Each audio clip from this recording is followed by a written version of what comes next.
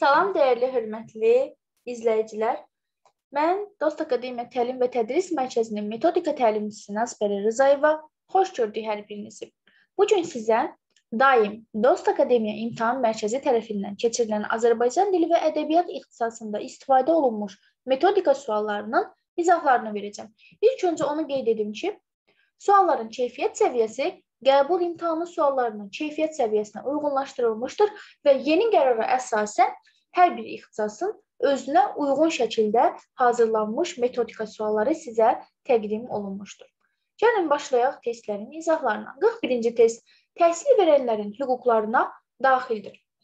Şərəf və ləyaqətinə hörmətlə yanaşılmasını tələb etmək, bəli, bu hüquqdur. Ümumiyyətlə hüquq və vəzifəni bu cür biri-birindən fərqləndirmək lazımdır.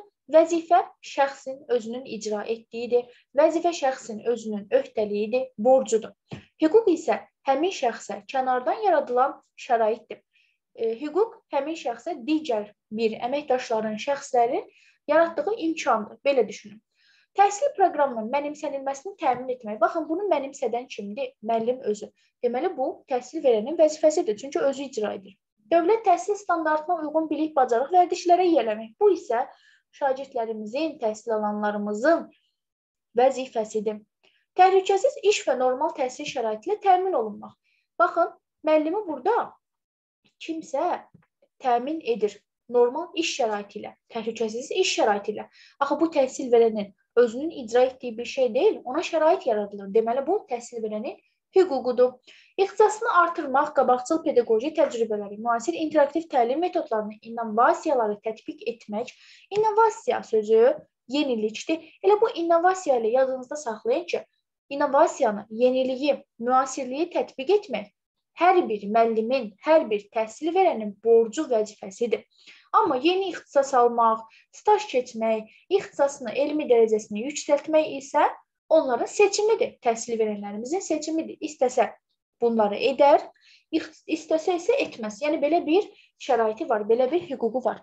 ADF, yəni ki, burada bizim doğru variantımız müəllimlər olur hansı variant? C variantı. İkinci testimizə baxaq. Əhsən, söz birləşmələrinə aid tapşırıqları düzgün yazmısan. Lakin qeyri-təyinli söz birləşmələrində səhvlərə yol vermisən. Qaydanı təkrarlamaqla səhvlərinin üzərində işlə. Verilmiş rəylə bağlı verilənlərdən hansı doğru deyil? İlk öncə qısaca bir dənə sizə məlumat verim ki, rəy verərkən çalışmaq lazımdır ki, həssaslıqla rəy verilsin. Həssaslıq nədir? Birinci müsbət tərəfi vurğulayıb, sonra səhvini qeyd etmək lazımdır. Birbaşa səhvi qeyd etmək lazım deyil.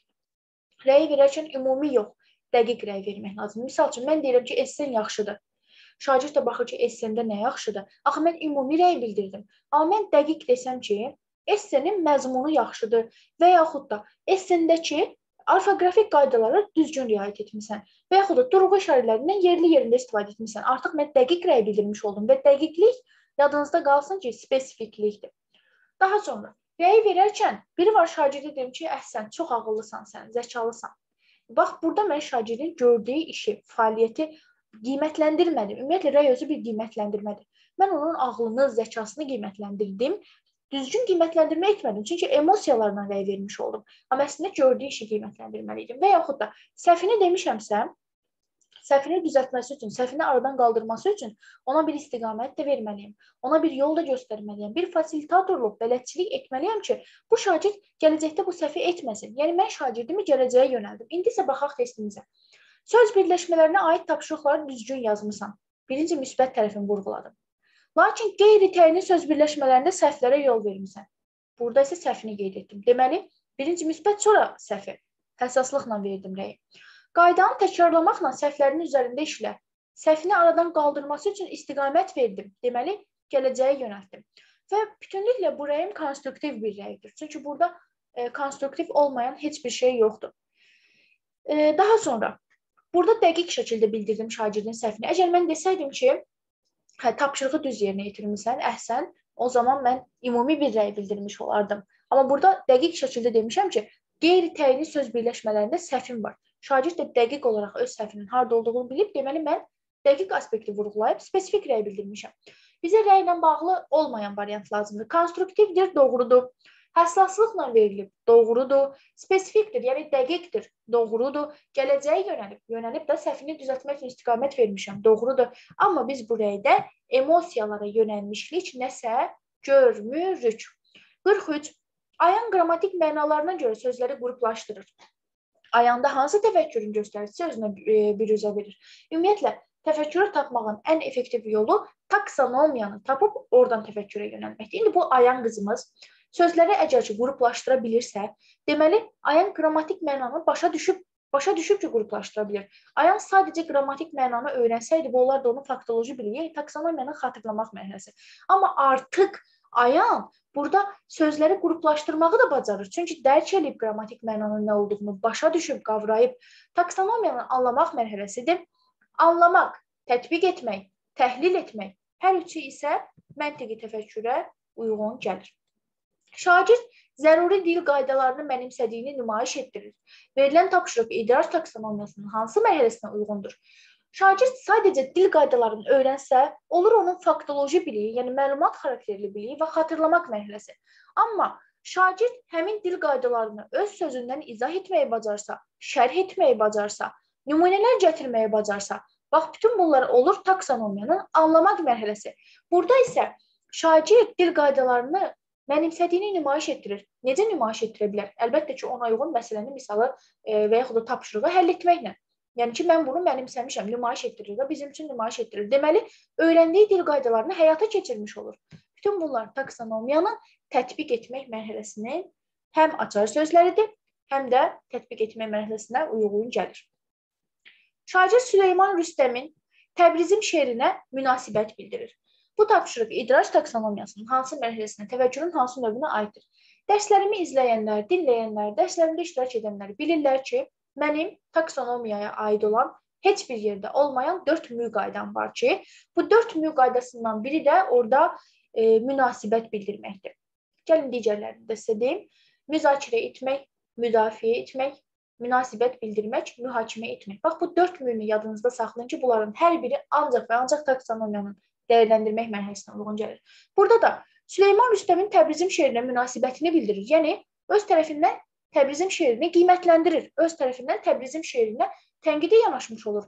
Yaxşı tərəflərini, pis tərəflərini, mənfisini, müsbətini, bax bütün bunları vurğulamış olur. Münasibət bildirmək budur, qiymətləndirməsidir. Deməli, taksonomiyanın dəyərləndirmək mərhələsi, həmçinin də tənqidi təfəkkür olur cavab. 46. Ədəbiyyat dərsində roman barəsində şagirdlərin biliklərini yoxlayan müəllim Nərminə belə sual verir. Mirzə İbrahimovun gələcək gün romanının öz dəyərini bu gün də saxlamasına səbəb sizcə nədir? Belə sual idrak taksonomiyasının hansı mərhələsinə aiddir? E, burada üzr istəyirəm. Nərminə yönəlib sual sizcə yox, səncə olmalıdır. Bunu düzəldək. Aha, olsun səncə.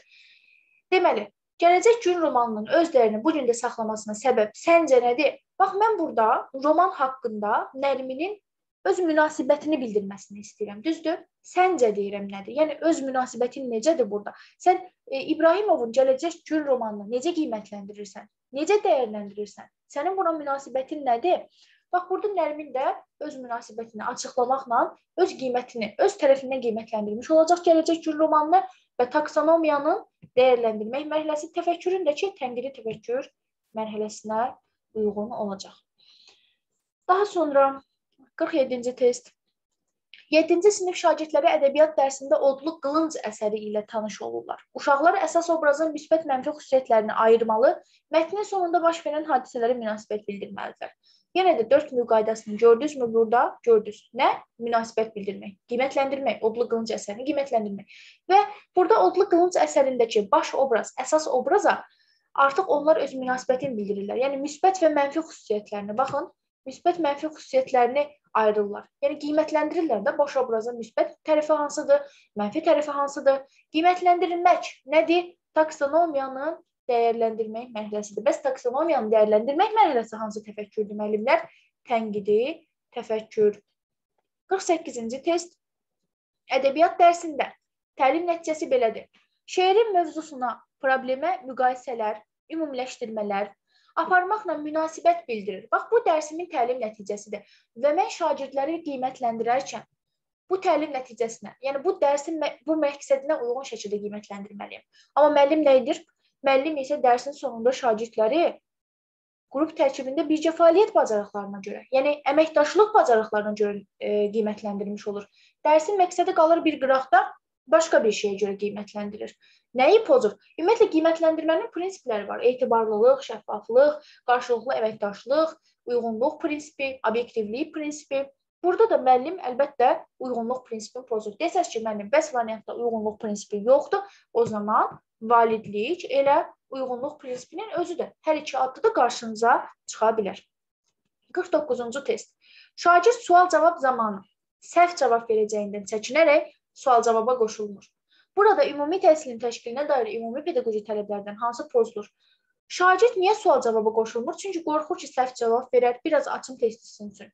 Çünki qorxur ki, müəllim səhv cavab verdiyinə görə onu bütün sinifin içində pərt eləyər, mühakimə edər.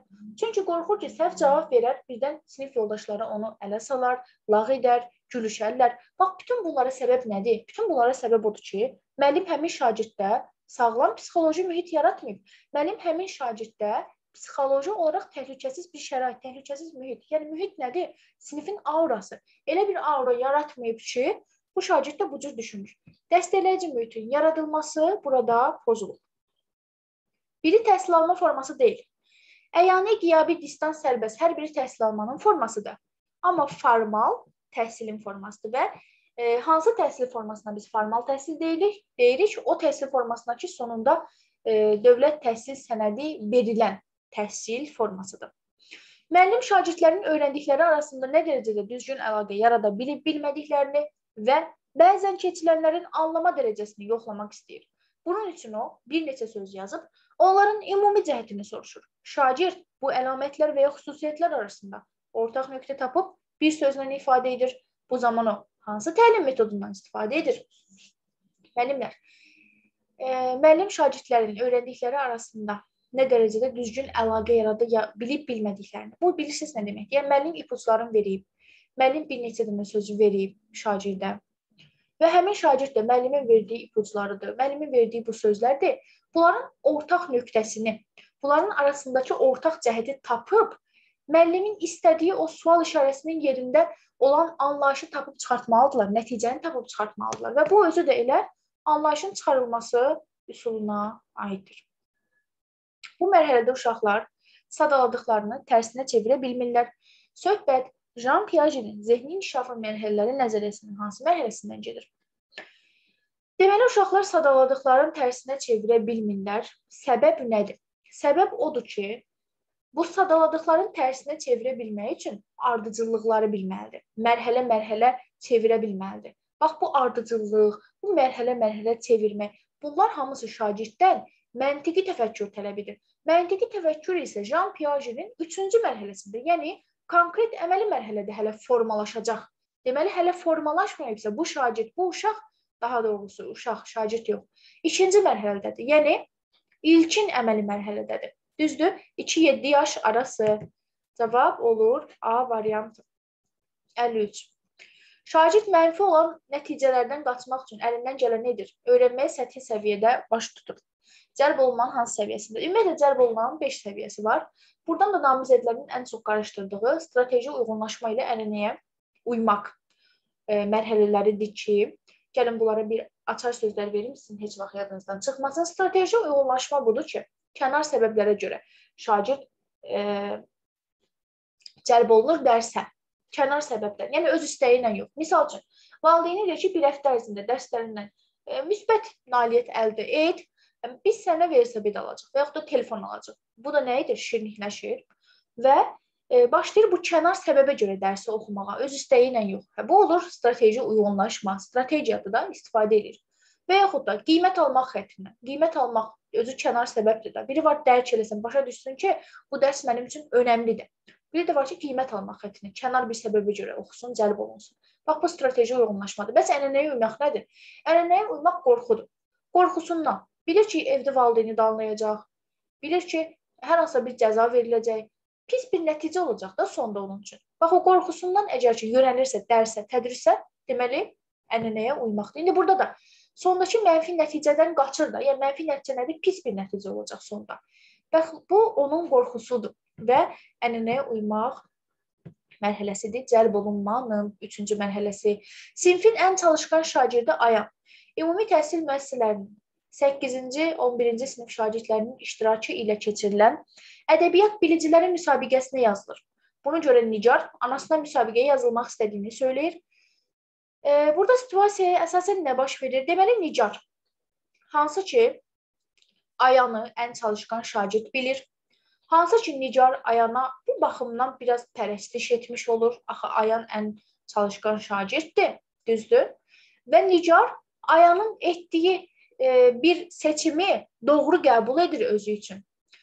Ayan əgər ədəbiyyat biliciləri müsabiqəsinə yazılıbsa, axı Ayan sinifin çalışqan şagirdidir. Deməli Ayan ən doğrusunu bilir. Deməli mən də mütləq o müsabiqəyə yazılmalıyam. Nicar belə qəbul edir. Pərəstiş etdiyi birinin etdiyini doğru bilib, onun etdiyini təkrarlamaq, təbii ki, özünü bənzətmək məntiq xətasıdır ki, Nicar da məhz bu məntiq xətasına yol vermiş olur. Növbəti testimiz. Ümumi təhsil pilləsində formalaşdırılan səriştələrə uyğunlaşdırın. Burada A variantında innovativ layihələr hazırlayır. Yəni yeniliklər edir. İnnovasiya nədir? Yenilik. Yeni bir layihə hazırlayır. Bu şagirdin yaradıcılıq, kreativlik səriştəsidir ki, bu da e, idraki fəaliyyətindən irəli gələn bir səriştədir, e, bir fəaliyyətdir və təfəkkürlə əlaqəlidir. Təfəkkürlə əlaqəli səriştədir. 1A Ünsiyyət etiketlərinə riayət edir. Bu elə onun ünsiyyət səriştəsidir ki, burada da bir iş görür, ünsiyyətdədir. Bu onun fəaliyyətlə bağlı səriştəsidir. Kollektivdə işləməyi bacarır. Bu da onun əməkdaşlıq səriştəsidir şagirdimizin. Və əməkdaşlıq özü də bir işdir, bir prosesdir ki, bu da fəaliyyət təsnifatı altında olan səriştələrə daxildir. İnsan hüquqları barədə təsəvvürə malikdir. Bəli, səriştəmiz belədir. Demokratiya və insan hüquqlarına hörmət Bu da bizim dəyərlərimizi özündə əks etdirir.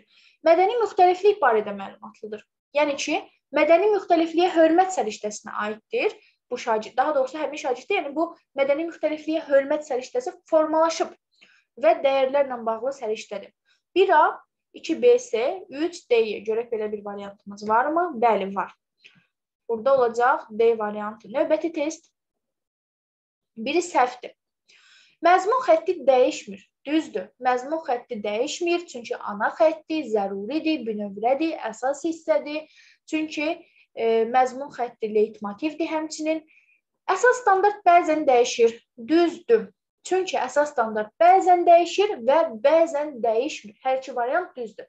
Bəs nə zaman dəyişirdi? Gəlin bir də təkrarlamış olaq. O zaman dəyişirdi ki, şagirddən tələb olunan bacarıqlar formalaşıb, artıq şagirddən daha mürəkkəb bacarıqların formalaşması tələb olunur. Məzmun xətti müxtəlif fənlərə görə dəyişir, düzdür? Azərbaycan dilinin məzmun xətti başqadır, riyaziyyatın məzmun xətti başqadır. Alt standart hər ay dəyişir. Bax bu səhvdir. Niyə görə? Çünki alt standart ildən ilə dəyişir. Çünki alt standart sinifdən sinifə keçdikcə, keçdikcə dəyişir. Öz fən kurikulumunuzu açın. Baxın orada. Tutaq ki, Azərbaycan dili fən kurikulumu. 5-ci sinifə baxın. Eyni bir alt standart. 1 1 1. 5-ci sinifin görün içərisində o alt standart dəyişirmi? Əsla dəyişə bilməz. Amma 6-cı sinifdə bəli, qismən mürəkkəbləşir, qismən inkişaf etdirmək lazımdır axı bu şagirdə. Ona görə mürəkkəbləşir. Səbəb odur. Yəni alt standart hər ay yox, ildən ilə sinifdən sinifə dəyişir. Daha sonra refleksiya nədir? Refleksiya bu artıq bir nəzəriyyədir, bu artıq bir qaydadır ki, artıq başa çatmış prosesin şuurda indikasıdır. Təlim prosesinin refleksiyası biliklərin mənimsənilməsinin bütün mərhələlərini təhlil etməyə və dərindən başa düşməyə imkan verən başlıca mexanizmlərdən biridir. Bax bu nəzəri, bu tərif. Gəlin açaq. Yəni ki, bütün proses başa çatıb, bütün iş görülüb, görülüb və artıq şuurunda təhlil edir də, indikanadı təhlil edir, dərk edir. Mən bu gün şagird deyir. Bu dərsdə nə öyrəndim? Mən bu dərsdə nələrə nail oldum? Mənim bu dərsdən mənimsədiklərim nə oldu? Bax bunu şagirddə yoxladıqca, şagirdə belə bir refleksiya etdikcə müəllim öz özünü də refleksiya edir. Necə? Bax belə. Mən bu dərsdə bu şagirdlərə nə öyrətdim? Nə çatdırdım? Mənim bu dərsdəki gündəlik planlaşdırmam, cari planlaşdırmam nə dərəcədə effektiv oldu, nə dərəcədə uğurlu oldu? Bax, bütün bunlar elə müəllimin özünün də şagirdlərlə bir yerdə refleks etməsinə gətirib çıxarır. 58. Hansı formativ qiymətləndirmə vasitəsi deyil? Çıxış bileti, rubrik, müşahidə, sual-cavab hamısı formativ qiymətləndirmədir. Yəni gündəlik hər dərs istifadə oluna bilər. Amma bölmə sonunda keçirilən testlər, bölmənin sonunda keçirilir. Bunu mən hər gün istifadə edə bilərəm? Yox. Bəs bu bölmə sonunda keçirilən testlər nədir? Bu kiçik summativ qiymətləndirmədir. Ki, o da summativ qiymətləndirmənin növlərindən biridir. Uyğunluğu müəyyən edin. Hə, bizim pedaqoji psixoloji nəzəriyyələrimiz uşaqların zehni inkişafı müəyyən mərhələlərdən keçirməlidirlər. Əgər ki, burada mərhələ görürsünüzsə, zehni inkişafın mərhələləri Jean Piaget-nin nəzəriyyəsidir. Jean Piaget 3A. İnkişafı açıq düşüncə tərzində olan şagirdlər daha yaxşı akademik nəticələr göstərirlər. Baxın, inkişafı açıq düşüncə, inkişafı qapalı düşüncə, ümumiyyətlə düşüncə tərzi nəzəriyyəsi Karl Dweck'in nəzəriyyəsidir. Təlim fəaliyyətləri sinifdəki şagirdlərdə olan müxtəlif intellektin növlərinə uyğun təşkil olunmalıdır. Yəni şəkillərlə daha yaxşı başa düşənlərə bu formada keçirilməlidir. Musiqi ilə, səslərlə yaxşı başa düşənlərə bu formada, hərəkətlərlə başa düşənlərə bədən kinestetik intellektidir və s. Bax, bütün bu intellektin növləri, çox şaxəli intellekt növləri Howard Gardnerin nəzəriyyəsidir. Öyrənmədə sosial münasibətlər mühüm əhəmiyyət kəsb edir. Sosiallıq ünsiyyət. Bax bunları önə çəkən Lev Vygotskyinin sosial inkişaf nəzəriyyəsidir. İndi gəlin variantlarımızı uyğunlaşdıraq, görək hansı variant uyğun gəlir. 1B, 2C, 3A, 4D. Bəli, bu olacaq E variantı. Və gəldik sonuncu sualımıza. Şagirdlər Azərbaycan dili dərsində balaca ağıllı bir uşaq mətnini səhnələşdirirlər. Bu tapşırığın icrasında daha çox hansı intellekt növünə uyğun şagirdlər maraqlı e, iştirak edəcək? Burada da Harvard Gardnerin intellekt növləri nəzəriyyəsidir ki, bu intellekt növünü müəyyənləşdirmək lazım. Nə edirlər? Səhnələşdirirlər. Səhnələşdirmək nədir? Səhnələşdirmək aktyorluq qabiliyyəti tələb edir. Səhnələşdirmək jestlərindən, mimikalarından, hərəkətlərindən istifadə etməsi deməkdir. Doğrudur? Deməli, hərəkətli şagirdlərimiz hərəkətlərlə daha yaxşı öyrənə bilən jestləri ilə, mimikaları ilə, daha yaxşı aktyorluq qabiliyyətləri ilə daha yaxşı mənimsəyən şagirdlərimiz bədən kinestetik intellektinə uyğun olan şagirdlərimiz idi.